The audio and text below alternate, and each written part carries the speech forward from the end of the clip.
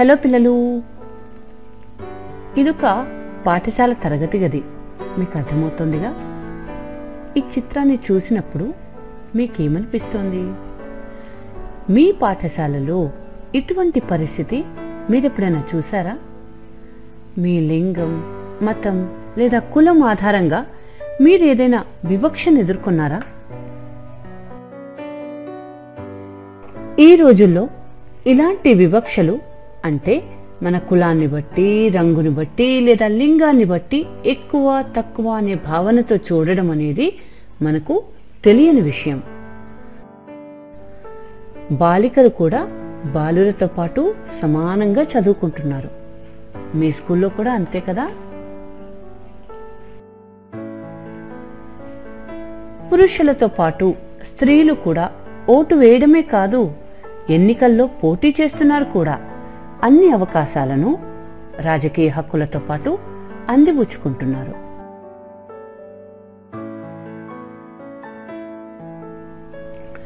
కానీ ఇలాంటి విషయాలలో రెండు వందల సంవత్సరాల క్రితం పరిస్థితి ఎలా ఉండేదో తెలుసా మీకు? రెండు వందల సంవత్సరాల క్రితం పరిస్థితులు భిన్నంగా ఉండేవి. చాలా మంది పిల్లలకు చాలా చిన్నతనంలోనే పెళ్ళి చేసేసేవారు.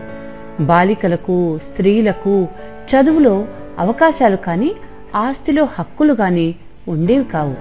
కొంతమంది ప్రజలు కులాన్ని బట్టి జాతిని బట్టి వివక్షతో చూడబడేవారు. ఇంకా ప్రజలు చాలా రకాల దేవుళ్ళను ఆరాధించేవారు. అనేక మతపరమైన ఆచార వ్యవహారాలను మూఢనమ్మకాలను పాటించేవారు.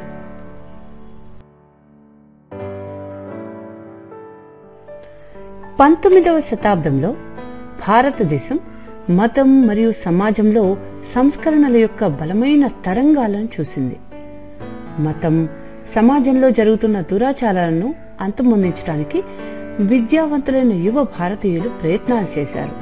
తమ సంస్కృతిలో ఉన్న లోపాలను తొలగించేందుకు సవరించేందుకు ప్రయత్నించారు. భారతీయ సంస్కృతి వైభవాన్ని పునరుద్ధరించడానికి ప్రయత్నించారు.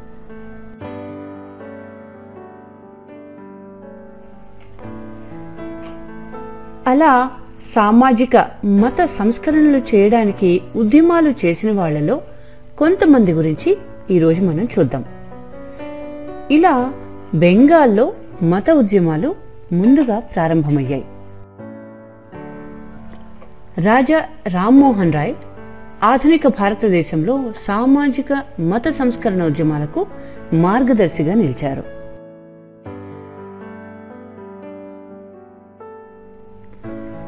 పద్దెనిమిది వందల ఇరవై ఎనిమిదిలో రాజా రామ్మోహన్ రాయ్ బ్రహ్మసభను స్థాపించాడు. ఏడాది తర్వాత దీనికి బ్రహ్మ సమాజ్ అని నామకరణం చేశారు. ఈ బ్రహ్మ సమాజ్ అనేది భారతదేశపు మొట్టమొదటి హేతువాద మేధావుల ఉద్యమంగా చెప్పవచ్చు. ఈ బ్రహ్మ సమాజం యొక్క ముఖ్య లక్ష్యం హిందూ సమాజంలో సంస్కరణలు తేవడం. పద్దెనిమిది వందల ముప్పై మూడులో రామ్మోహన్ రాయ్ మరణం తర్వాత బ్రహ్మ సమాజ్ ఉద్యమానికి దేవేంద్రనాథ్ ఠాగూర్ మరియు కేశవ్ చంద్ర సేన్ నేతృత్వం వహించారు. భారతదేశ వ్యాప్తంగా ఉపన్యాసాలిచ్చి తమ ఆలోచనలను వారు ప్రచారం చేశారు. పంతొమ్మిదవ శతాబ్దానికి చెందిన మరొక ప్రముఖ సంస్కర్త రామకృష్ణ పరమహంస. పద్దెనిమిది వందల ముప్పై నాలుగు నుంచి పద్దెనిమిది వందల ఎనభై ఆరు వరకు వారున్నారు. కోల్కత్తా సమీపంలోని దక్షిణేశ్వర్లో గల కాళీ ఆలయంలో ఆయన పూజారిగా ఉండేవాడు. అన్ని మతాల ఐక్యతను ప్రబోధించేవాడు. ప్రతి వ్యక్తి కూడా భగవంతుడిలో ఒక భాగమని ఆయన నొక్కి వక్కాణించారు. కాబట్టి ఆయన చెప్పిన ప్రకారం మానవ సేవ అంటే మాధవ సేవే అని అర్థం.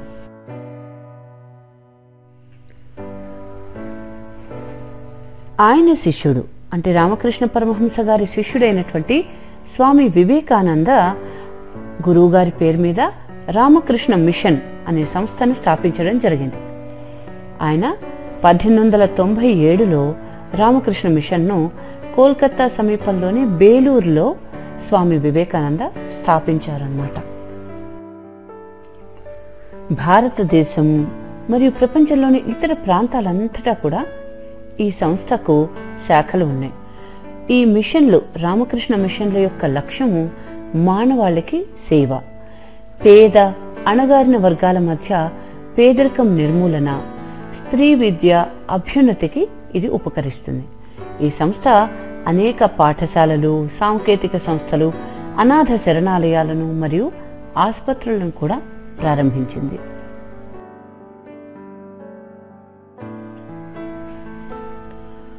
వరద కరువు వంటి ప్రకృతి వైపరీత్యాల వల్ల కలిగే విపత్కర పరిస్థితుల్లో ఈ రామకృష్ణ మిషన్ వాళ్ళు ప్రజలకు సేవ చేశారు. స్వామి వివేకానంద హిందూ మతము సంస్కృతి సమాజము ముఖ్యంగా భారత జాతీయత పట్ల యువకుల్లో ప్రేరణ కలిగేటట్లుగా గట్టి కృషి చేశారు. అందువల్ల రామకృష్ణ మిషన్ ఒక బలమైన ఉద్యమంగా మారింది. ఇది ఇప్పటికీ భారతీయ సమాజానికి ఉపయోగకరమైన సేవలను అందిస్తోంది.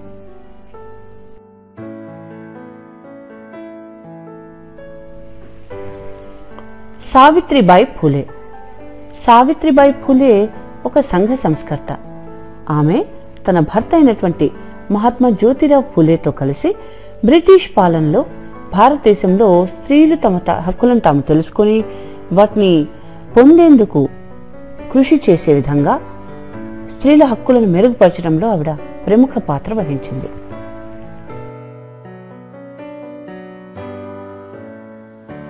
సావిత్రిబాయి భారతదేశంలో తొలి మహిళా పాఠశాలలో తొలి మహిళా ఉపాధ్యాయురాలు. ఆధునిక మరాఠీ కవిత్వానికి మార్గదర్శిగా కూడా పరిగణించబడింది.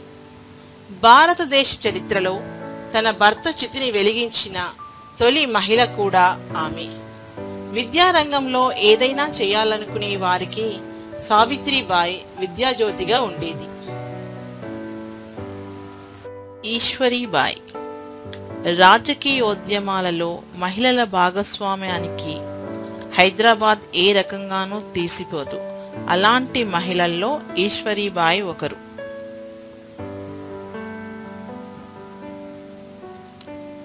ఈశ్వరీబాయ్ ఒక భారతీయ రాజకీయ నాయకురాలు శాసనసభ సభ్యురాలు మరియు రిపబ్లికన్ పార్టీ ఆఫ్ ఇండియా అధ్యక్షురాలు.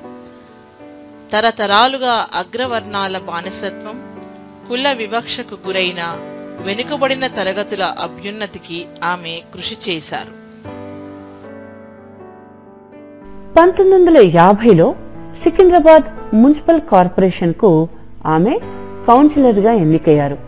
ఆమె మహిళల కొరకు వర్క్ సెంటర్ ఒకదాన్ని ప్రారంభించి మరియు టైలరింగ్ స్పిన్నింగ్ మరియు ఇతర వృత్తి విద్యా క్రాఫ్ట్లలో ఎంతో మంది మహిళలకు శిక్షణను ఏర్పాటు చేశారు.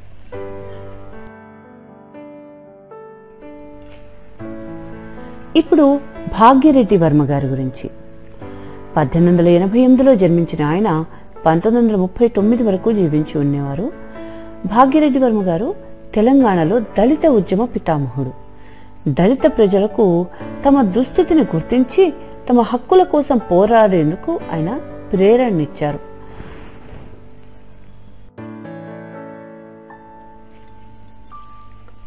ఇంకా భాగ్యరెడ్డి వర్మ గారు హైదరాబాద్ చుట్టుపక్కల ప్రాంతాలలో దళితుల కోసం దాదాపు ఇరవై ఆరు పాఠశాలలు స్థాపించి నడిపారు.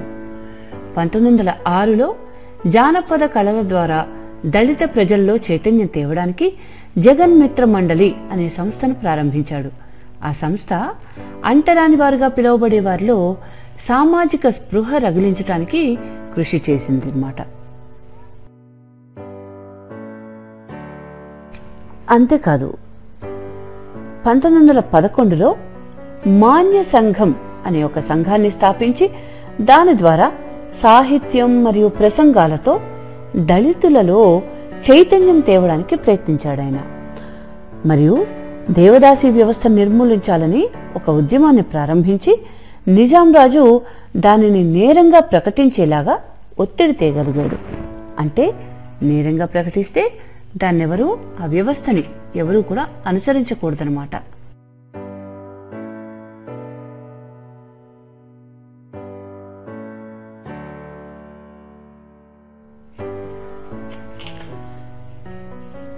అంతేకాదు. ఇంకెందరో సంఘ సంస్కర్తలు ఇంకెందరో మహానుభావులు భారతదేశంలో అణగారిన వర్గాలు స్త్రీలు వీరందరి యొక్క అభ్యున్నతిని కోరుతూ వారి దశలో వారి స్థితిలో మార్పు కోసం పోరాడుతూ తమ జీవితాలను అర్పించారు. అటువంటి వారిలో కొంతమందిని మీరు ఇక్కడ చూస్తున్నారు. వారందరి కృషి ఫలితమే ఈనాటి మన స్వేచ్ఛా జీవితం హక్కుల ప్రపంచం.